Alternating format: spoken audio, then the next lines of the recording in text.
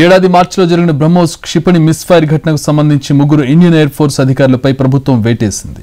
వీరిలో గ్రూప్ కెప్టెన్తో పాటు ఇద్దరు వింగ్ కమాండర్లు కూడా ఉన్నారు. విధుల నుంచి వీరిని తక్షణం తప్పిస్తూ ఉత్తర్వులు జారీ చేసింది. ఏడాది మే తొమ్మిదిన పంజాబ్లోని అంబాలా వాయుసేన స్థావరంలో సాధారణ నిర్వహణ తనిఖీలు చేస్తుండగా ఓ క్షిపణి అకస్మాత్తుగా గాల్లోకి లేచి పాకిస్తాన్ భూభాగంలోకి దూసుకెళ్ళి పంజాబ్ ప్రావిన్స్లో పడింది. అయితే ఈ ఘటనలో ఎలాంటి ప్రాణ నష్టం సంభవించకపోవడంతో అందరూ ఊపిరి పీల్చుకున్నారు. ఈ ఘటనపై రక్షణ శాఖ దర్యాప్తుకు ఆదేశించింది. తాజాగా ఆ కమిటీ ఇచ్చిన నివేదిక ఆధారంగా ముగ్గురు అధికారులపై వేటు వేశారు.